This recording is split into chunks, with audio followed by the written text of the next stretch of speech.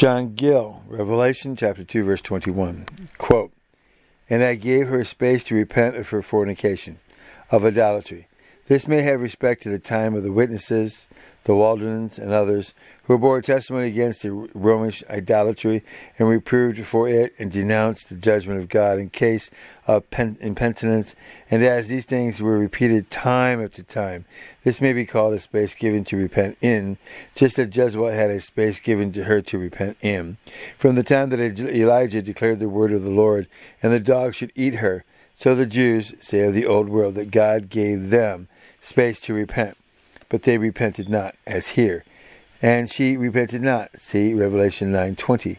For the time for and means lending to repentancy may be given. Yet if the grace of repentancy itself is not given, men, either particular persons or whole bodies of men, will never repent of their sins.